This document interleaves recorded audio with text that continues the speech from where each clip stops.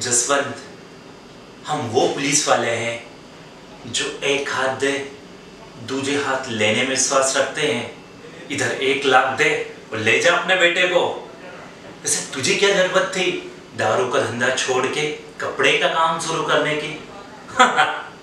तुझे क्या लगा कि तू ईमानदारी से काम करता रहेगा और हम हिजड़े जैसे ताली बजाते रहेंगे? देख, मैं वापस कहता हूँ नशे का धंधा शुरू कर दे, पर इस बार दारू का नहीं ड्रग्स का। पुलिस वाले तेरे साथ है। यदि हमसे कोई बेईमानी की तो ठोक डाले लेंगे हम पुलिस वाले हैं। हमारा कोई घंटा भी नहीं बिगाड़ पाएगा।